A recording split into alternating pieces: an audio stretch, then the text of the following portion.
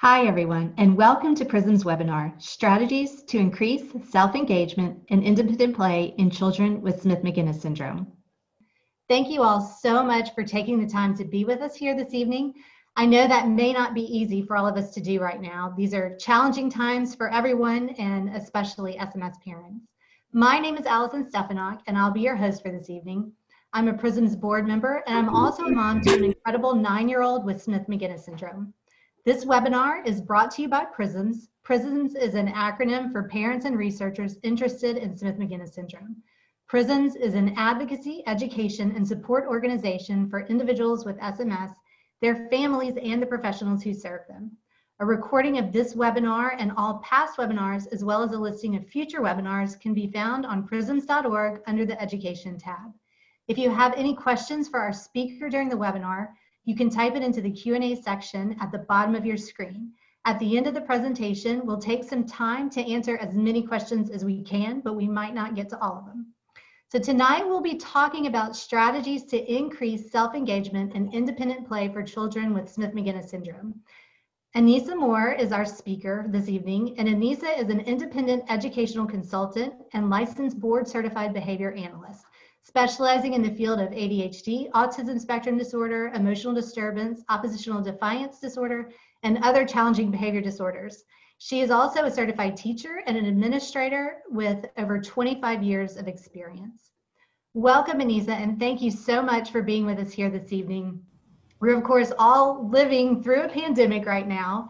The special needs population, especially those living with behavior disorders like SMS, are facing really extraordinary challenges. Uh, many families have lost the supports that are truly necessary to keep daily life going. Uh, schools have closed or gone virtual. Uh, regular caregivers and extended family members may not be available. And this all happened overnight. So the caregiver needs of an SMS person can be overwhelming. And independent play isn't typically something that SMSers are very good at. So, and unfortunately now independent play is more important than ever. So thank you for being here. We really appreciate, really appreciate it. Thank you. It is my pleasure. Thank you, Allison, and welcome everybody to our webinar tonight. Again, my name is Anissa Moore, and in the short hour that we have, we are going to be covering a lot of information about self occupancy and what that looks like. Um, I know we probably have a lot of families out there with a, a varying degree of of student ages. You know, your kiddo might be still very young, and then I'm sure we also have some families that have older students um, still at home. So I'm hoping that I can capture um, all the different age groups and all of the different uh, challenges that a lot of y'all might be experiencing um, not just the regular day to day at home, but as Allison said, I think we've all kind of felt the impact of um, kids feeling cooped up and us feeling cooped up, and how can we keep them engaged at home? How can we um, keep them interested in different tasks and in different activities. But the bigger challenge is always how can we keep them self occupied? Uh, do they know how to play by themselves, to do kinds of leisure activities by themselves, besides just you know, watching the TV or a movie or playing their video game six hours a day. So I'm hoping to give you um, some strategies. A lot of it is going to be work up front, okay? But nothing good ever came from uh, you know, easy work. This is going to be a little bit of work up front, but think about it. You're already doing a lot of work now. I mean, you're already having to redirect and, hey, go over here and why don't you play with this and, you know, give mom alone time or give dad alone time. You know, you're already doing a lot of that. So the work you're going to do now is going to be adding structure and predictability and understanding to play and leisure. And then once you have that structure set up, you can kind of back off and then let your child take over and then they know better how to play how to self-engage and both you and your kiddo and the siblings are going to benefit. So i'm going to go ahead and start sharing my screen for this evening.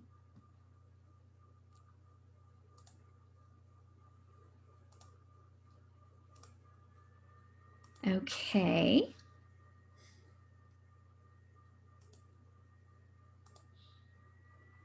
All right. I hope everybody can see my screen. So this is strategies to increase self-engagement and independent play for our kiddos with SMS.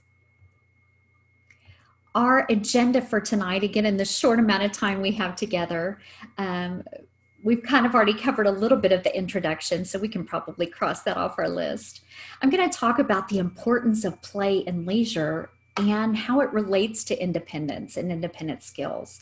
Um, again, no matter what age your child is, these are things and skills that can be harnessed and developed as they continue to grow. We're also going to talk a lot about how we can build on our child's areas of interest and expand play activities. I'll show you how you can do different structuring of areas, structuring of tasks. And when I say tasks, it's not work, it's the actual play task. And I'm going to give you some examples for that as well tonight.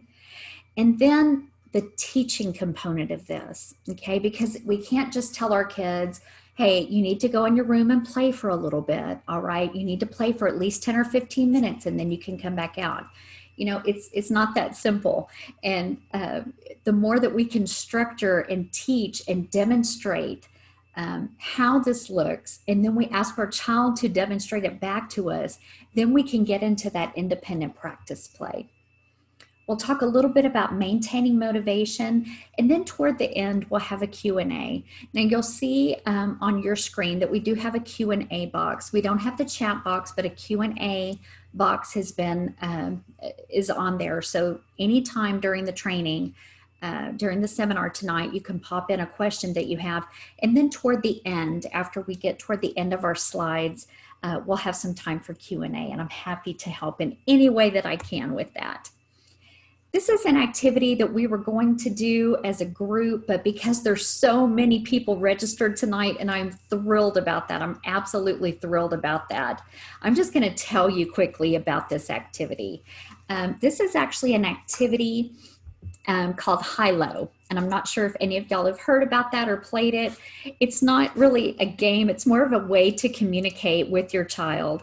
I even do this with my own daughter who's 13 years old. Um, have you ever asked your child when they come home from school, Hey, how was your day? Or how was school today?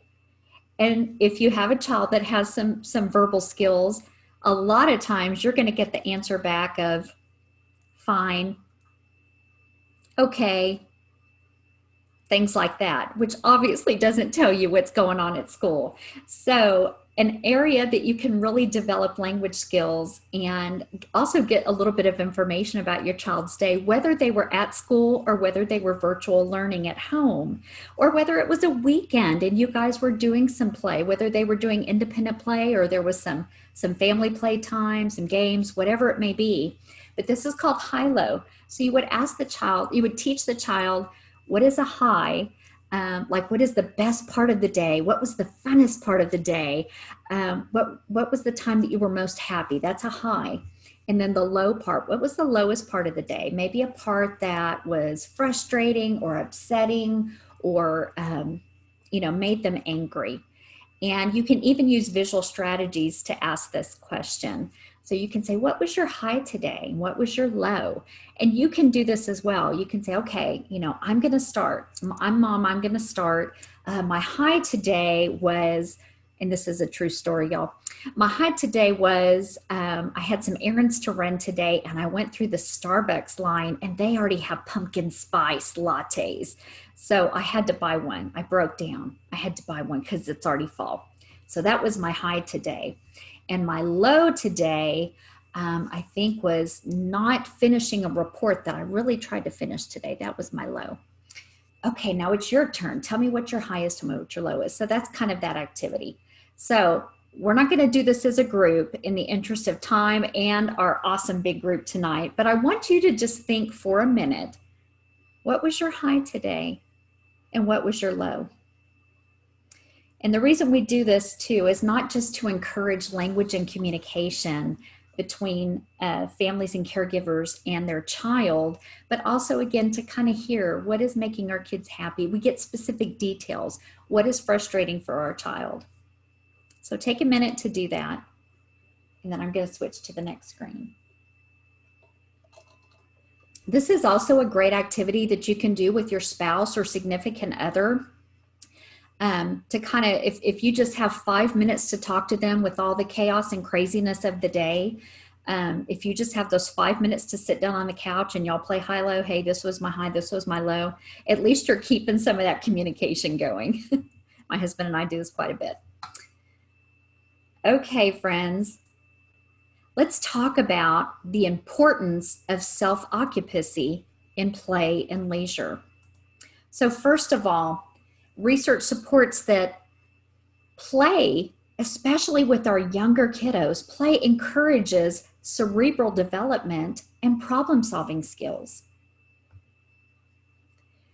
Play can also decrease what we call non functional behavior. So, if you've got, you know, your child that does the hand rubbing consistently, which we know is, is a huge component of SMS, or if you've got a student that is um, has some self-stimming behavior or if you've got a student that is that is playing with something um, non-functionally you know if they're banging something like a baby doll against the table versus actually playing with the baby doll.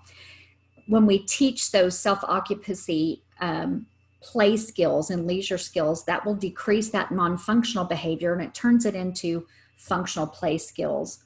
It also eliminates boredom we know, and this is true of almost any kiddo, but especially kiddos with special needs and kiddos with behavior challenges, when boredom, boredom kicks in, we see more behaviors because they're looking for something to do or they're getting frustrated or whatever it may be. Um, but this can eliminate boredom. It also, the self play or self leisure skills decreases that need to have you as the adult ever present.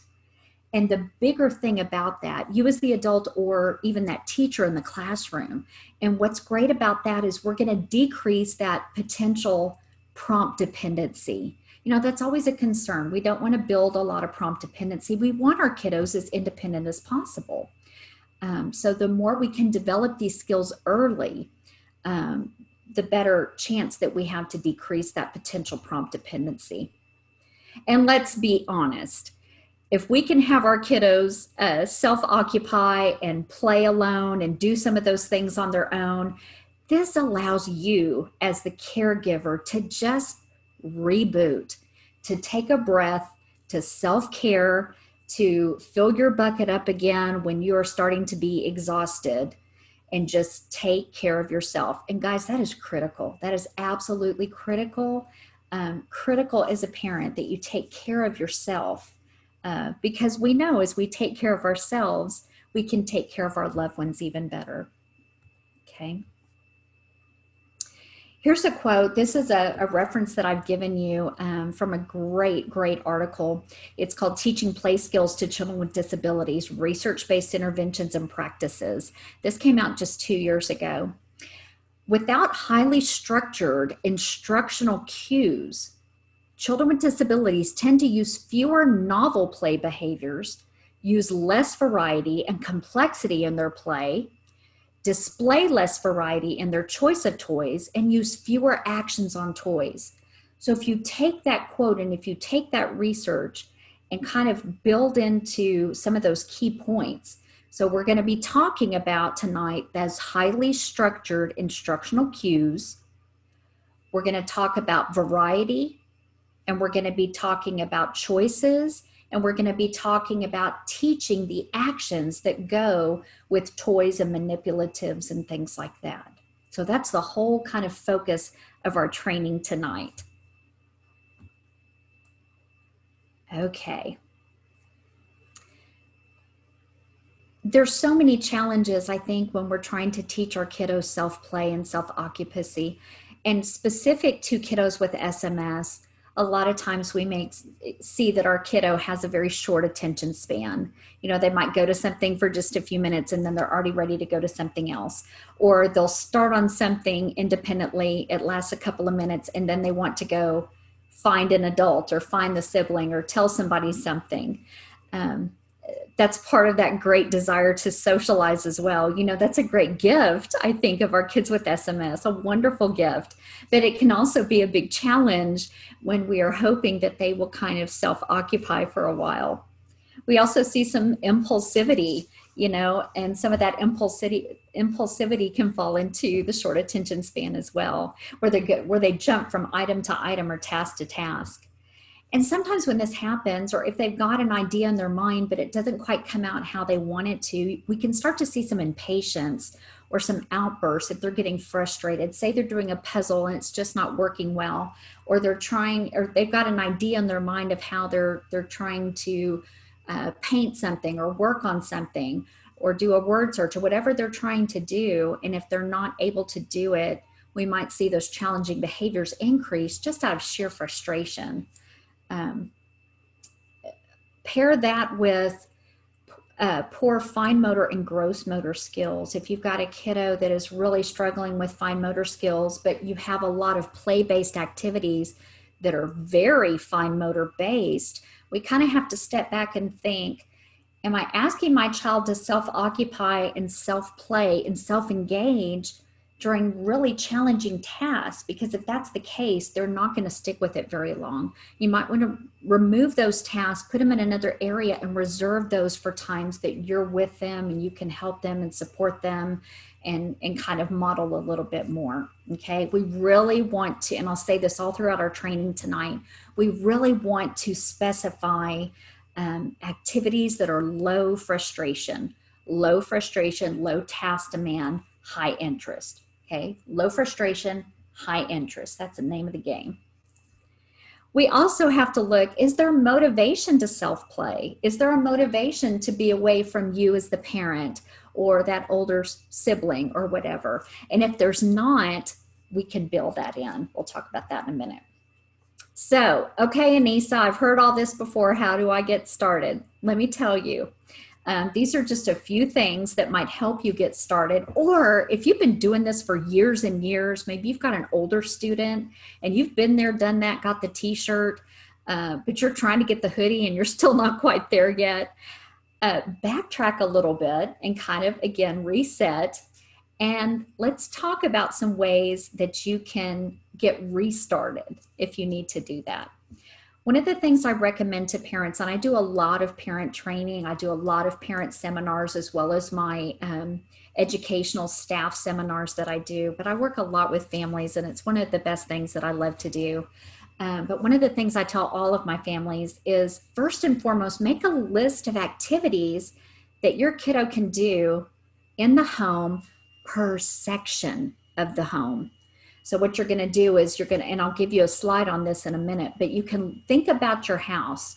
Do a map of your house, okay? And it doesn't have to be pretty, it doesn't have to be to scale, all that stuff, but just kind of do a map of your house or even print out a blueprint of your house that's kind of similar to what you have.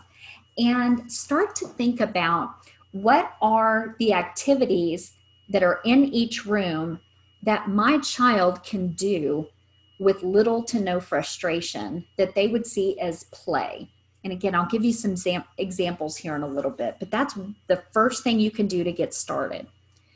Then I want you to really think about organizing those materials that are in each of those rooms. How are you going to organize them to increase independence? First and foremost, to seek out the material or the toy, and then secondly, to clean up. Now, the cleanup part is usually a lower motivation than the play part, but we will get there, okay? Um, and the more we use things like organizers and labels and photos and things like that, um, it's going to increase your child's ability not just to seek out the toy, but also to clean up when prompted. Um, really think of your kid's motivation what are their favorite things to do? If you've got a kiddo that plays video games six hours a day even though you have tried and tried and tried your best to uh, transition your kiddo off that's just a high fixation for them. Think about what kinds of video games are they playing? What kinds of strategies are they doing within the video game? Are there certain characters that they love like minecraft um, or fortnite or some things like that? Um, think about some of those and think about how can I make this into a hands on self play activity that is maybe not linked to video games.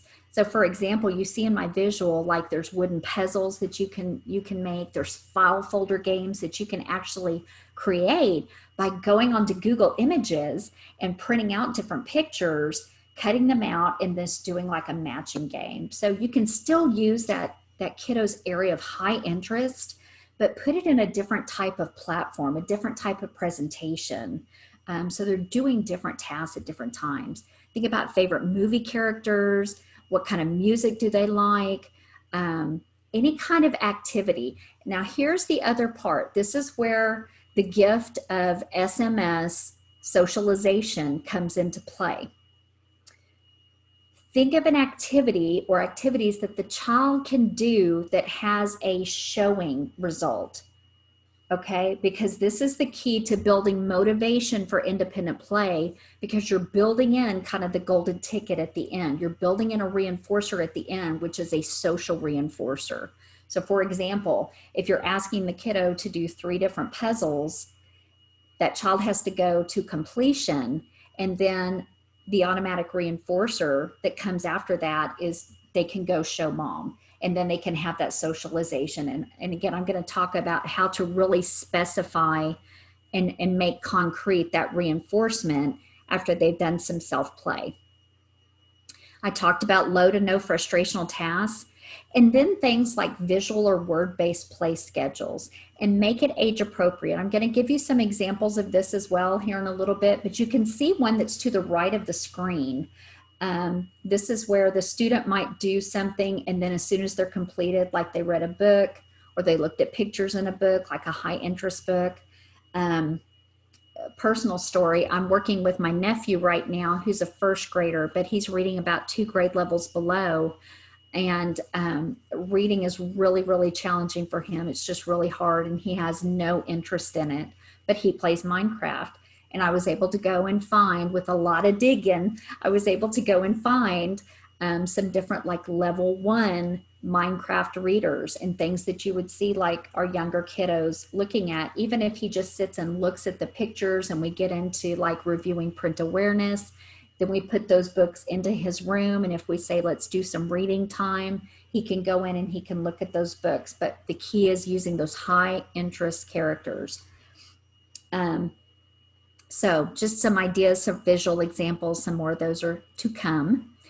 And above all, make it functional, make it relative to the child, and make it fun. If it's fun and it's rewarding, they're going to be more motivated to do it. And eventually, they're going to have some intrinsic reinforcement. And that's what we really want. We want them to be intrinsically driven to want to go and play and do something and get to that sense of completion. Um, you know, we want them to be as independent as they can be okay so this is like my magic my magic house here. This is an example of if you and if you have um, you know your picture of your house and think of you can even draw it. You don't have to do a pretty blueprint. You don't have to be an architect whatever. Just draw your house and think about in each space that your child is going into what can they do as far as independent play in each room. The other thing I want you to think about is what are some things that you don't want in certain rooms and you want to limit and put in maybe one designated area. For example, look at the bottom where it says living room. You know, if you've got a child that really perseverates on video games and eh, sometimes they might um, show some frustration or show some behaviors when you're trying to transition them off it might be that you don't have those video games in the child's bedroom because that's that's a, a, place that they might go to often. They might be tempted a lot especially at nighttime you know those those nights that our kiddos are not sleeping well which is probably most nights uh, you know we don't want to tempt them with that highest reinforcer in those areas. You might want to limit those those certain types of activities for like just the living room. And then again, you might limit it to certain times where you're putting it on a play schedule.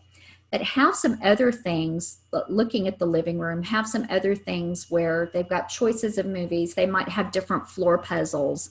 Um, they might have some matching and solitaire types of games. Um, and then you might have like a sensory box or a busy box that's got different sensory based items that they can do in the living room. And I'll show you how to organize these in a little bit. In the bedroom, what kinds of activities can your child do independent in the bedroom? And you have those areas structured and you have those materials organized. And those are some things that they can do within the bedroom. And you're going to have them labeled so that each area that your child goes into, they know okay, when I get here and mom or dad or grandpa ask me to uh, do some play for 15 minutes while they go and do something else, these are the choices that I have per room. At the kitchen table, you might have some some bins and buckets kind of hidden under the table or over to the side that are labeled. And again, I'll talk about organizers here in a little bit in the car. The car is still an area, the car is still a location. Think about things that are not going to hurt if they get thrown in the car. Um, I like to do things like those really soft books or magazines of high interest. If you've got a kiddo that's really into Harry Potter and you find a Harry Potter magazine, they can even if they're not reading they can just again looking at the pictures going from page one to page two kind of seeing the progression um, some of the file folder games are really good to have, but then you reserve those for the car. You can even do like a travel bag and you keep that, you know, like it could be an old backpack, it could be whatever, and you keep those in the car.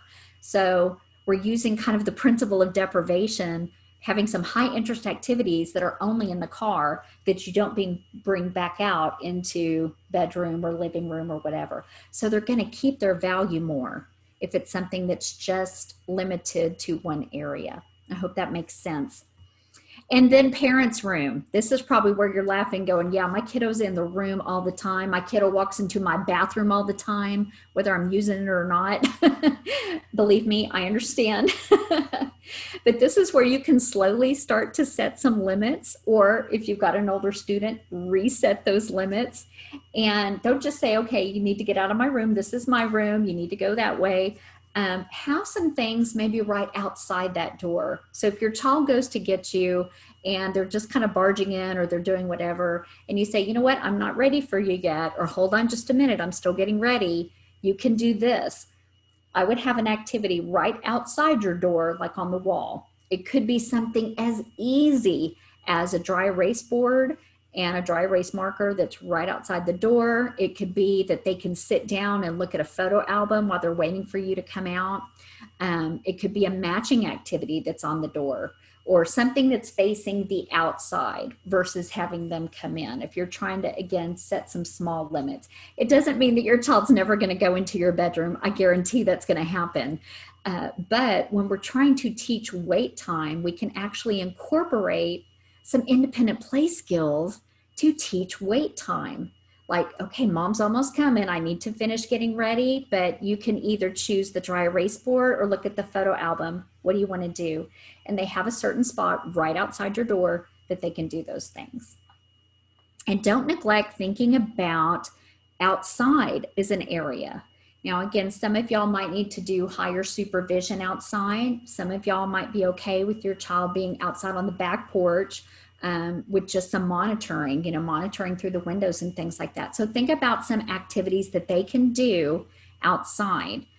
These are just ideas of activities. In a minute, I'm going to show you how to teach them, how to model them, and the structures that can go along with it. But there's also one little area that I forgot about.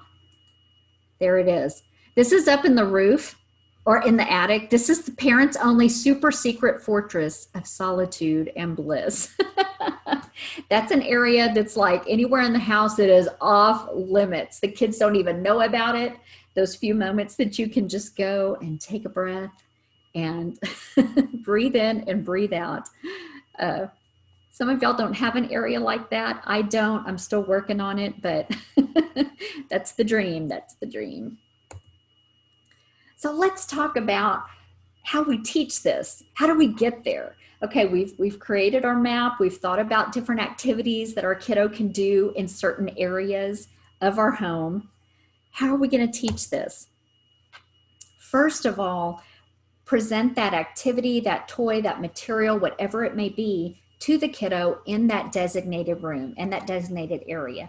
Even if, again, you've got an older student that has a lot of things in that area, make sure that you have some activities within that bedroom, some activities within the kitchen area, some activities within the living room, um, but present or represent that activity to the child in that specific area. And then you're going to model and teach how to use the item again, even if they've seen it before, it could be like Mr. Potato Head or whatever it may be. Just say, hey, I'm going to show you this, and then it's going to be your turn. So then you model how to play and you talk through what you're doing.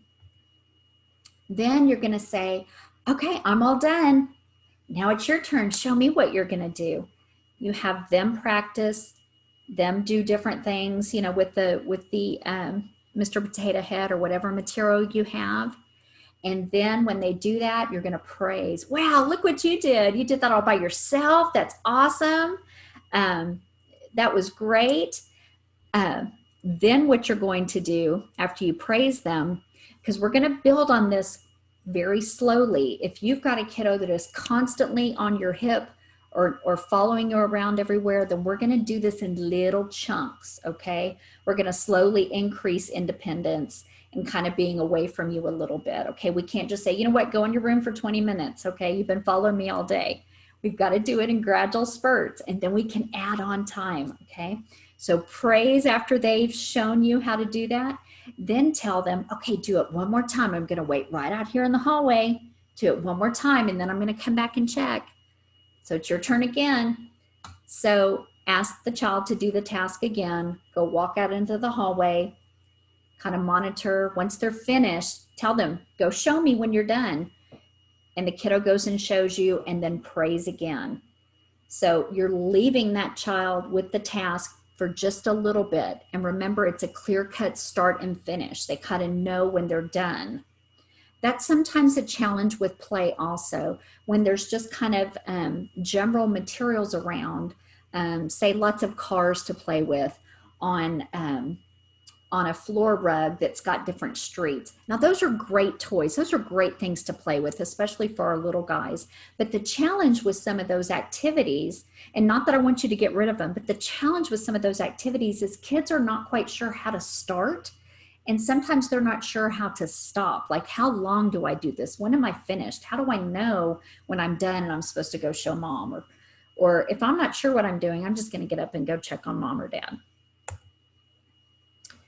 So the child does the task on their own. You've left to go in the hallway or to go, you know, in your bedroom. You've left the child with the task. They've done the independent play because you've already modeled it and then you've shown, you've watched them do it themselves.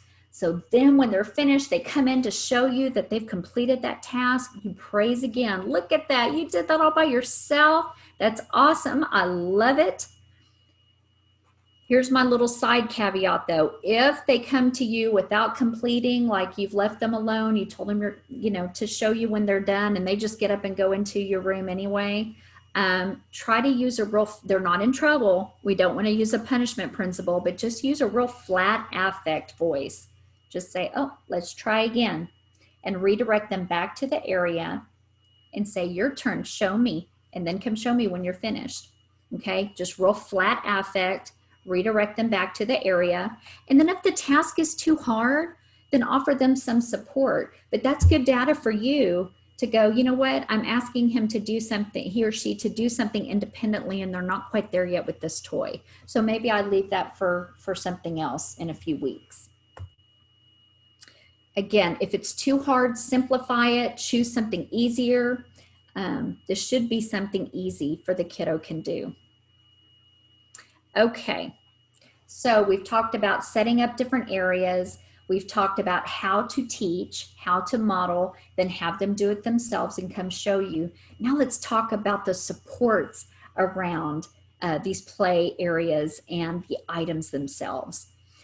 A great way to start teaching how long do I play or when that I'm done, if it's one of those like with the cars and things like that, is to use things like egg timers or some of the visual time timers that you might see uh, in, in your students' classrooms. Um, you can even use your iPhone, or if your kiddos have a have a phone or an iPad or some kind of technology using that timer. Um, but also what I really, really encourage is using visual supports that remind that kiddo how to play. Remember, visual supports take the place of the adult or the other person having to constantly verbally prompt. Okay, first you stack the red, then you stack the blue. We don't want to have them become prompt dependent on our voice and us prompt them all the time. Those visual supports can become the prompt where they're just following almost a map, following a rubric of play. Okay. You can do this with pictures. You can also do this with video modeling. Now, I don't know if this particular area got in your slides. This might just be in my slides, but video modeling is an awesome way to show a kiddo how to do something.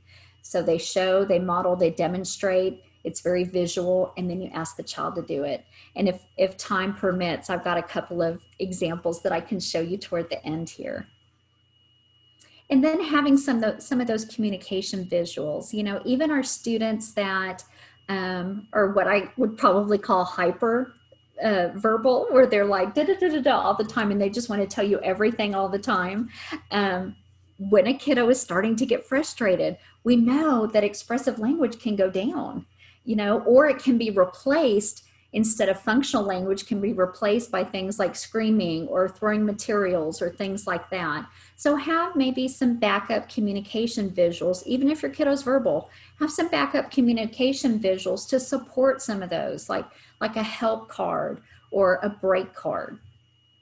Okay. Um, I'll show you in a little bit some different ways that we can structure the materials, but really try to use things like clear bins that your kiddos can see the materials inside and put a picture on the outside or a label. If they're a reader, put those labels out there on the outside. If they're non-readers, do some maybe digital photos. But guys, anything that you need as far as a visual, you can probably find it on Google Images. Um, if you need a picture of, um, you know, Legos, you just go to Google Images and you type in Legos. Um, if you need a picture, picture of Cheetos, you just go into Google Images. You're going to get everything. They have everything. Um, think about, especially for older students or kiddos that like to do like word finds or or uh, connect the dots using those high interest characters. Remember, um, try using things like paper trays. Uh, you can also do that for art activities, for holding magazines, things like that. And think of your first then concept. I bet everybody on this webinar is familiar with the Premack principle or the first then. Typically, we think of first then of like first do some work, then you can have some playtime or you can have a reinforcer. Uh, but in this case, when we talk about play, play is the work. It's independent. Okay, so we're going to say like first do art for 10 minutes then you can go show mom and dad. And again, if there's a built in social reinforcer, there's a social component to that. Um, so you can slowly increase time as your child gets older and their attention span gets longer. And as you see more success with that self occupying, okay, it might be 10 minutes to start, and then you can increase to 15 minutes and then to 20 minutes and so on. Okay, they're not going to get there overnight, but they will get there. And then, having said that with the first then, keep your end of the bargain. If they bring it and say, look, this is what I did, this is where you are going to socialize, stop what you're doing for a minute and say, wow, that's awesome, dude, or look at that. Praise, draw attention to the finished product, and really stress how they did it by themselves or wow you were in your room for a long time working on that. That looked awesome. I'm proud of you you know whatever it is. Um, the power of positive reinforcement can never be underestimated. Every kiddo regardless of disability non-disability whatever positive reinforcement is proven to make behavior stick. Okay all right. You might also want to keep that big, big reinforcer, say uh, that's a play, an independent play thing like uh, watching something on the iPad or watching a YouTube video or playing, a, you know, 30 minutes of a video game.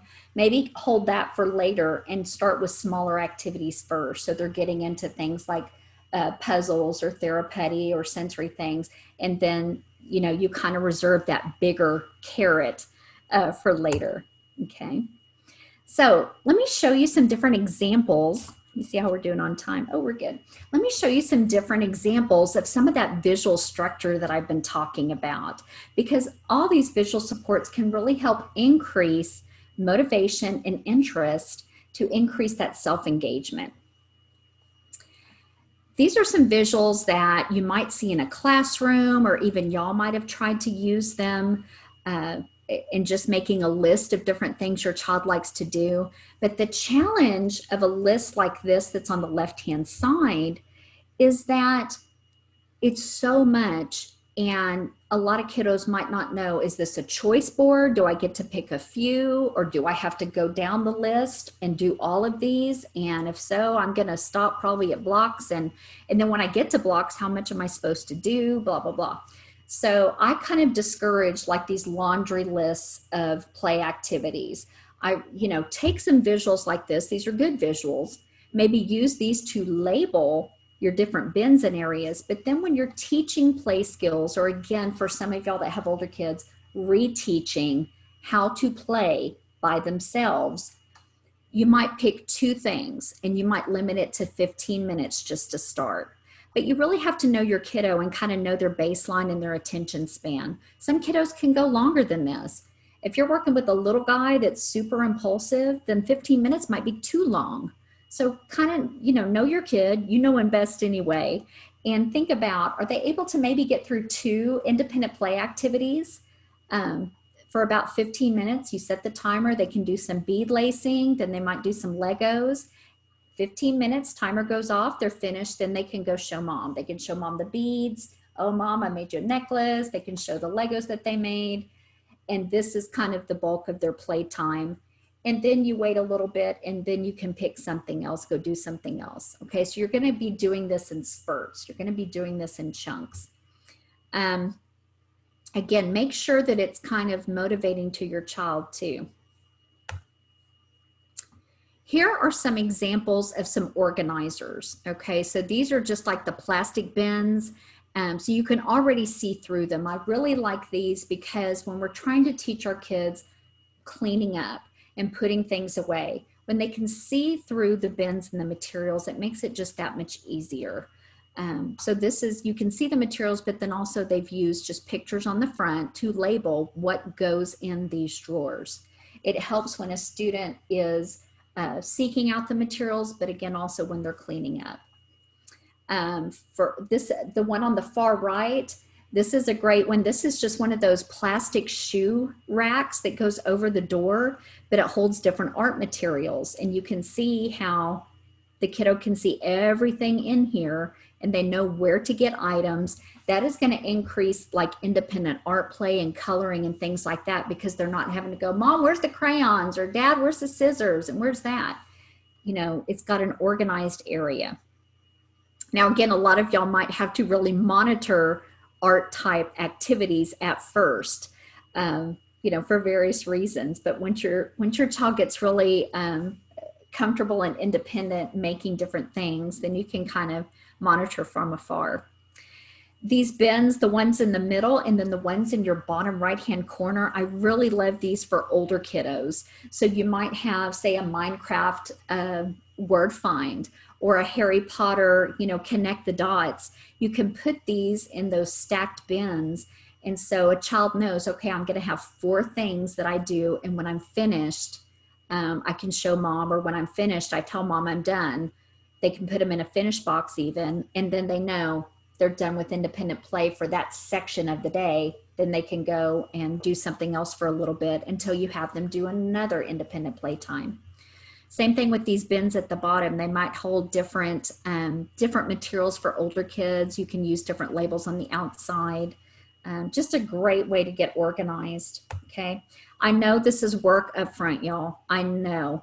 But again, the more work you do up front where it's structured and you're teaching your kids how to get materials, how to play, how to put things away, they're just going to become more self organized, more self occupied um, and it's going to make it's going to enrich their life and it's really going to enrich your life too here's some more examples.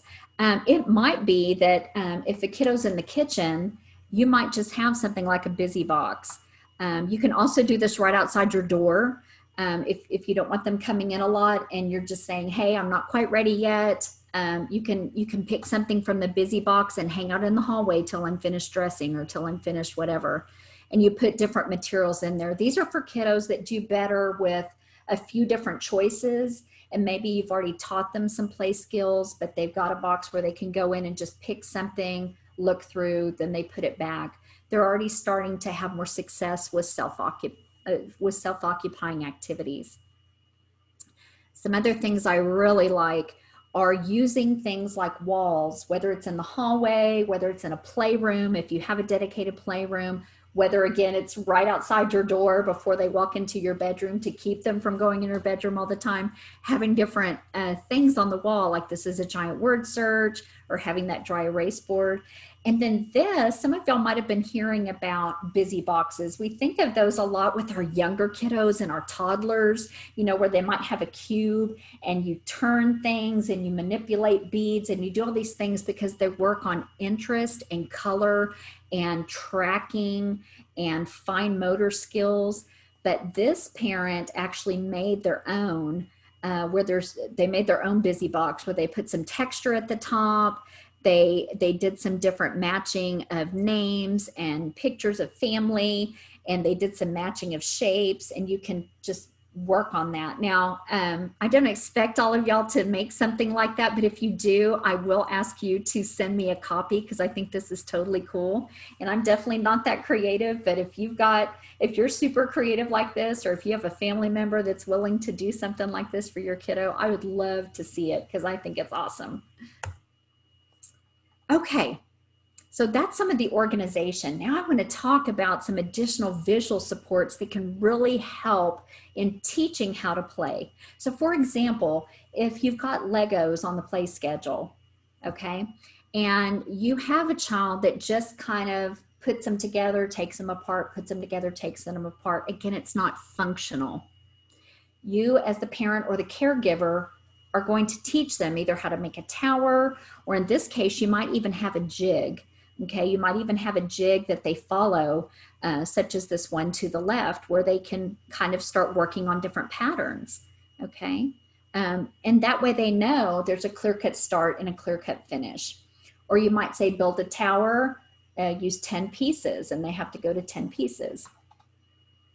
Over to the far right, I've got different examples of visual supports for different centers within the house or different activities. So say again, they pick Mr. Potato Head. It's got different, it's almost like a mini schedule. It's got different items that the child can use and do when they're, in, until they're finished dressing Mr. Potato Head. Or how do I play with toy cars? Um, how do I play with blocks? This one here in the middle, I love because it's it's a toy that we might buy some of our younger kiddos or some of our elementary age kiddos and we find these really cool toys but sometimes our kids just kind of play with them for a couple of minutes or once or twice and then they go into the closet and and we don't bring them out again. So what i like about this is bring some of those toys out and try to add some visuals like this is a doctor's kit and there's a visual with it to support things to do with the doctor kit. And it shows you know wrapping a foot taking a temperature giving a pretend shot. Yes it is a pretend shot. Um, pretending to do medicine checking ears things like that. So it gives them a map on how to play. It gives them a map on how to self play here's some additional visuals say for our older kids all right um, our older kids or our young adults, um, teaching them how to play dominoes uh, independently. You know, they can use a little jig like this or making the great tower where they, they line everything up or they make a design and then they can knock it down. So there's kind of some instant gratification with that. Um, you know, you can pick out different designs again on Google Images um, and find different things. If you've got a kiddo that is really interested in helping you cook, or you want them to be more independent as far as making some of their own snacks, you know, popping popcorn in the microwave or doing pudding and things like that, then you can use some of these visuals, put them in the kitchen or the, the kitchen nook, breakfast nook area, and then they can start working on these things. That's still functional play for our older kids. You know, that's still a, a very great activity for them to do. And then you might just make up some of your own visuals based on that high interest character that your kiddo loves. So again, I'm using Minecraft because that's just the thing still now, Minecraft and Fortnite. So you might go on to Google Images and print out these pictures, and then you might print out a second page, cut them all up, you know, and then have your child, you know, just do some matching, you know, or do a memory game where you flip over and you teach them how to do matches as, as an actual memory game is that something they can definitely do on their own. Okay, I'm going to show you. Let me go back a little bit. So remember I talked about the doctor kit and having some visuals like that. So these are some concrete visuals that you can keep up um, with those specific toys in those bins. But just like I showed you how to teach and model and demonstrate for your child, um, if your child is really into videos, then you can use a research based concept called video modeling. Now, some of y'all might be really familiar with video modeling, some of y'all might not have used it very much. And I'm going to tell you right now, you're going to see a lot of the research and literature in relation to kids with autism or on the spectrum, but this is not an autism specific strategy. It's absolutely not. I even use this with some of my little bitty uh, early childhood kiddos that are really just struggling on how to figure out routines and how to play. So, video, video modeling is really um, just a great concept um, on how to show a kiddo what to do. I've got two links here. One of them is for a younger student, like teaching how to play with the doctor kit. I'm going to show you about a minute of that one. And then I'm going to show you an older one uh, for older students on teaching something like solitaire, okay, which is a little bit harder. So let me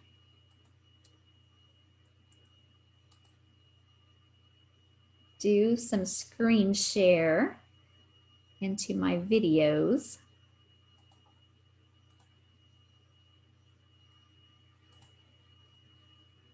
Okay. I want to make sure y'all can see that. All right. I'm going to show you just a minute of this one.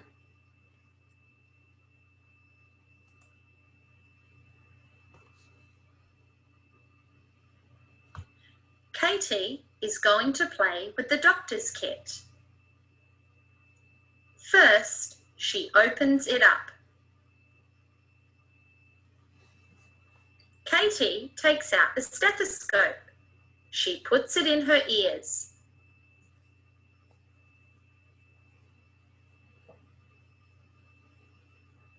Katie listens to Teddy's heart.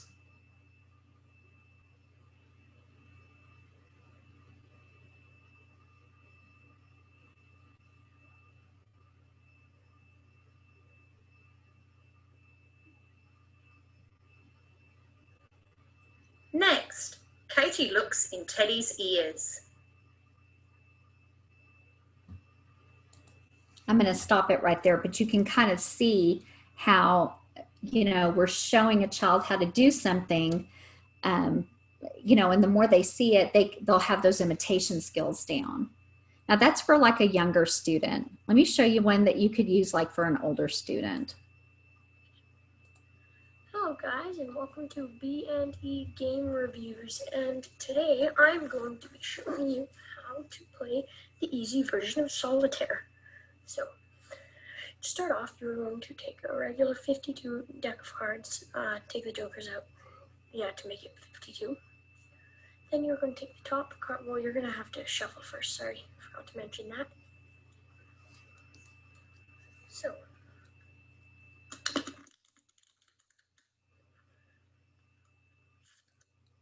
flip this card, lay there, flip this card. There you go. All right, I'm going to stop it right there in the interest of time. me go back to my PowerPoint.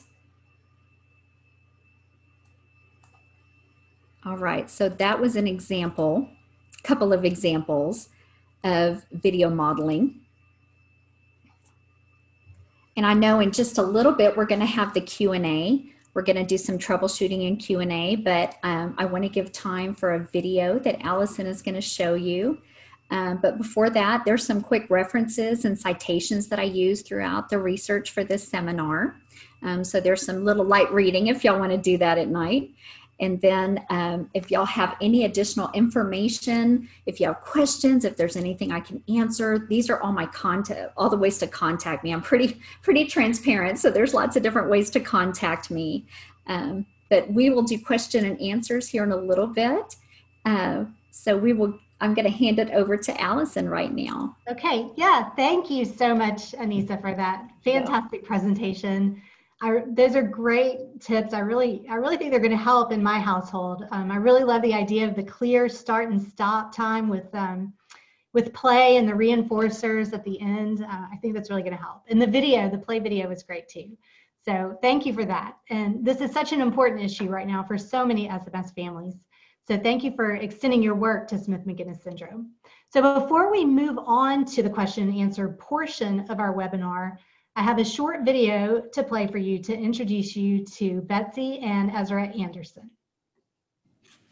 Okay, Ez, you ready?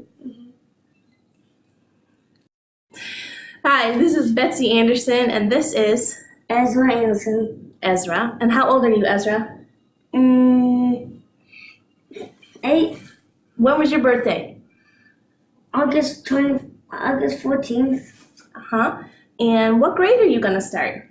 Third grade. Are you excited? Yep. We uh, wanted to take a minute to say hello and to talk a little bit about PRISMS and what it's kind of meant to our family in this Smith McGinnis journey. Um, Ezra was diagnosed right about two and a half, and it was about February that year and there was a conference coming up for PRISMS. So when what I did, is that, mommy? When I did my research, I found a conference. I'm talking about the conference that we went to, the first one. What's it called? And the PRISMS Conference. Um, and so we were babies. We were brand new to everything, and we walked into the conference. And I will tell you, it was a bit of a fire hose. It was super overwhelming. But from the first moment, the first meeting, um, at our table was another young couple. Turns out lived 30 minutes away from us here in chicagoland and they've been a huge source of connection support friendship ever since that time years ago. Um, and we there's been so many other friendships that have started that way, um, just through either in person at a conference or through the Facebook group. Um, but another very important thing about PRISMS is just the connection not only to other parents and families, but to the professional network of people. Um, that PRISMS book um, that um, was written kind of like a handbook that you can give out to others working with your child. I've given to every teacher he's had, and they've all um, talked about how helpful it was. Um, we met a neuropsychologist who did a presentation at one of the conferences and then uh, subsequently connected us with a neuropsychologist here in the city to do some evaluations that were very helpful. You know, we got connected with the safety sleeper bed after being able to test one out at a conference. And um, that's been life changing um, for managing things with Ezra. Ezra, are you sleeping? Oh, he's taking a break.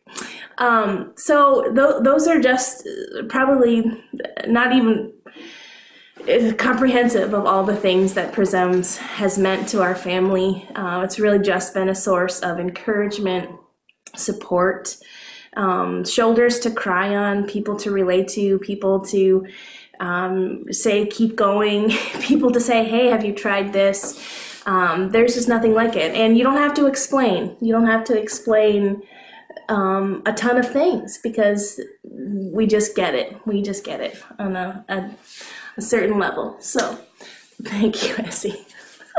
so that is just um, something we wanted to say. Thank you, PRISMS, um, for all that you have done and will continue to do, and um, we appreciate it. Right, Izzy? Thank you so much, Andersons, for putting that really great video together and sharing your story with us. Um, y'all are, Ezra is, so precious. That is such a sweet little video. And thank you for sharing how PRISMS has been there to support your family. It's really great to hear as well. Um, so now we have some time for Anissa to answer a few questions.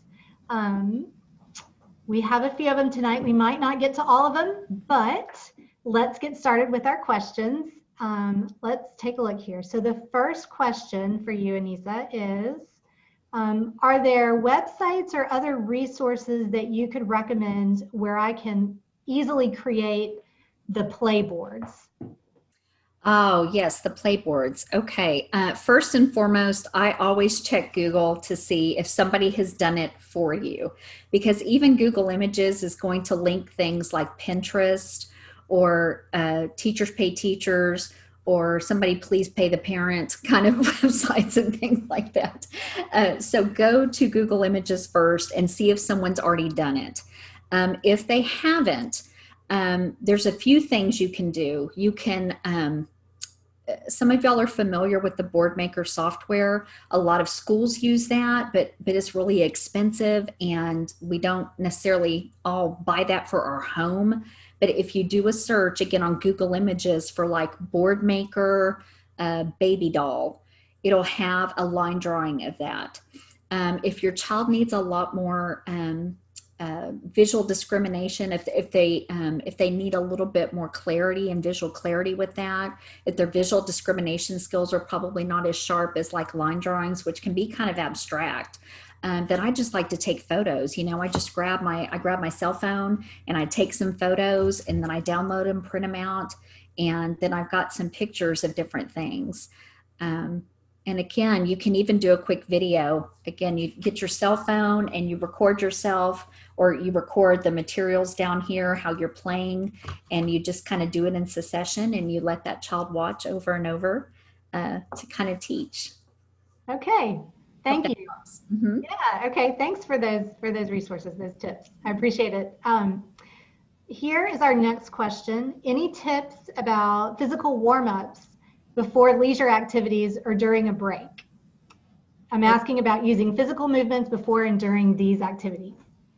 So physical warm-ups, physical movements. Well, it depends. Um, it depends on age of the kid and like what are they warming up for. Um, when they're younger, I like to do a lot of the things that your kiddo might be doing at school, like like Go Noodle. Um, Go Noodle is is free. It's on YouTube. There's lots of different little warm up activities, lots of singing and dancing that goes with that. But again, it's a type of video modeling where you're going to be following someone while they're doing it. Um, there is also what I really love. It's very movement based, but it's slow and it's repetitive. And it actually works to build focus. If you've got a kiddo that's kind of all over the place and you want to build some movement, but also build some focus, and it's Go Noodle Flow. And it's mindfulness activities like things like rainbow breathing, and they teach rainbow breathing these are also great, not just for a student to practice and move around with, but also um, if they're needing to take a break and they don't necessarily maybe they've got a lot of energy and and they're not going to go sit down and take a break somewhere even though you really want them to if they're really kind of upset or, or really wired about something um, you might put on one of those uh, go noodle flows or different types of some of those activities and let them do some repetitive movements, do some deep breathing, but it's highly visual. And um, I found a lot of students uh, respond to that. Yeah. That's great. I'm definitely going to check out Go Noodle uh, Yeah. for my daughter. There's Go Noodle for the fast stuff and Go Noodle Flow for like the mindfulness and deep breathing and kind of calming down type things. So That sounds perfect. pull it up on your phone or on your iPad, whatever it may be. I love it. Okay, thank you. Okay, next question is I really want to increase independent play, but I can't get my kid off technology without a tantrum. Do you have any tips for getting off of technology so that I can start play activities?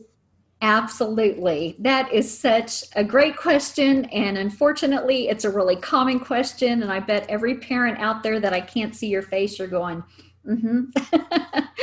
this is a really common one.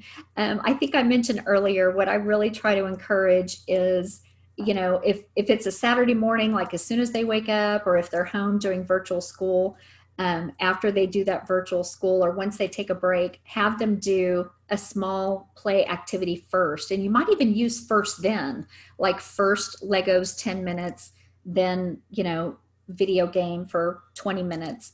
But then you might do a pause and then create some other type of game or bring something else in. They might even do it right there while they have the game paused. And it could be short bursts. This is going to take a while, especially if you've got an older student that is hyper focused on technology. This is not going to be an overnight kind of thing. You're going to be doing it in little short bursts. So I would have them do kind of the hands on types of things first in short chunks, and then they can earn time on the video game then you have them press pause, have them do something else really quick.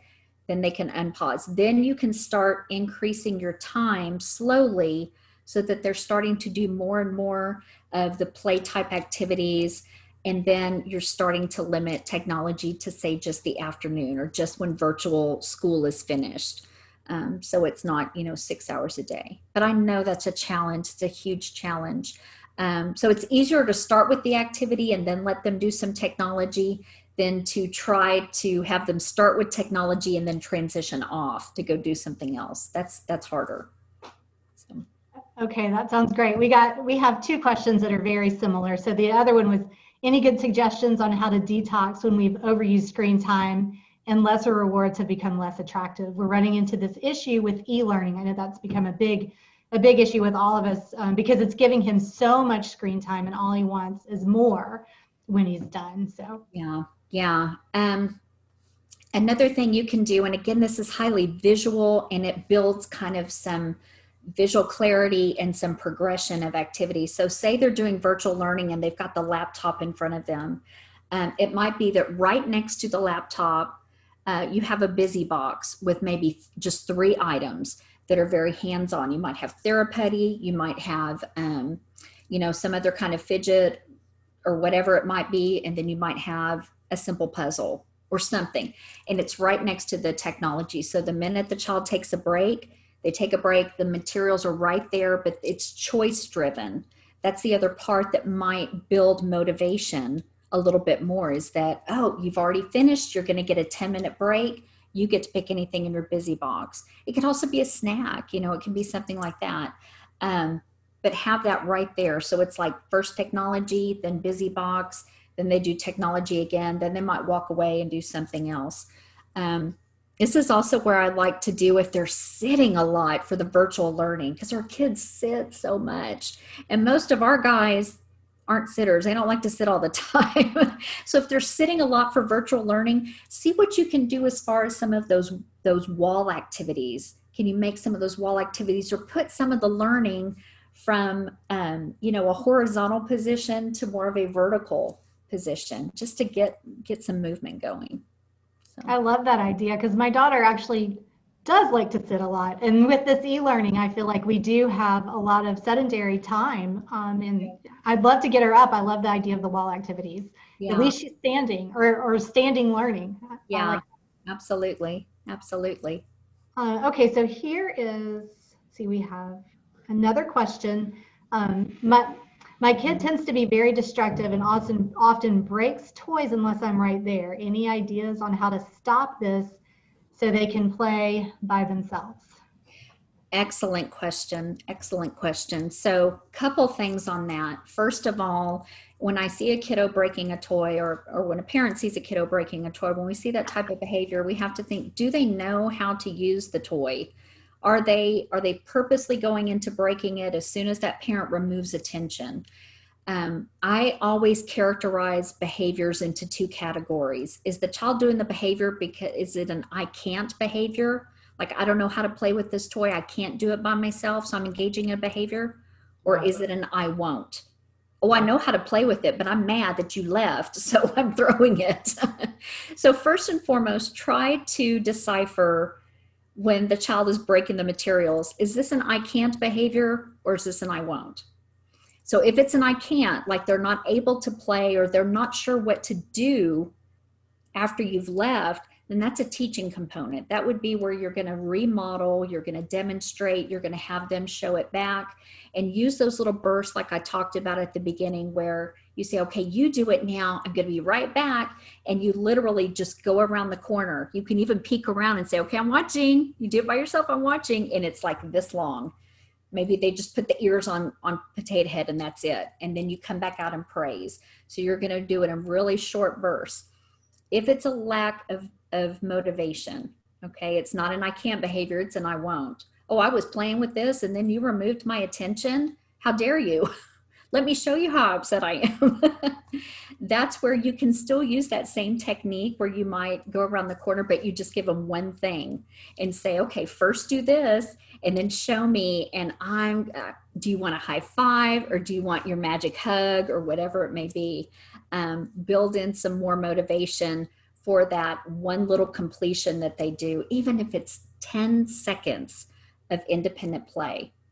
Because you have to think how, how long is my child able to sustain before they engage in a disruptive behavior, before they engage in breaking something?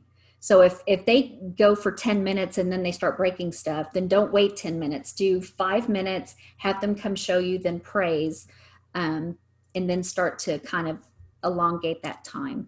I hope that makes sense. That makes perfect sense. It's really, really good advice. I like the idea of the baby steps. Yeah, um, definitely baby steps. We're not, this is a marathon and not a sprint, okay? Um, especially if you've got a kiddo that has had these types of behaviors in their repertoire for a long time. It's going to take a lot of time. Um, but but these parents I know are are patient and persistent, and that's the name of the game. right. Exactly. Thank you so much. So one last question. We just had a question about um, putting the links in the in the comments here, and we'll we'll do that. Um, the someone asked for the link for solitaire, and we could we can just probably add all of the links um, as an answer to this question. Um, so take a look at that. Um, it should show up for everybody in the question and answer section, and we'll put the links there. So, okay, well, it looks like that's all the questions that we have for this evening. So thank you so much, Anissa, for that really great presentation. I hope everyone enjoyed tonight's presentation just as much as I did. Um, hopefully it'll help us make it through these extraordinary times just a little bit easier. Um, be on the lookout for an email from me with a link to the recording of this webinar, as well as a survey. I'll also include um, Anissa's uh, PowerPoint presentation. She shared that with me and I can share it with all of you. So please join us on future Prisms webinars. Make sure to follow us on social media and join Prisms if you're not already a member. Membership is free and it's the best way to stay up to date with all things SMS.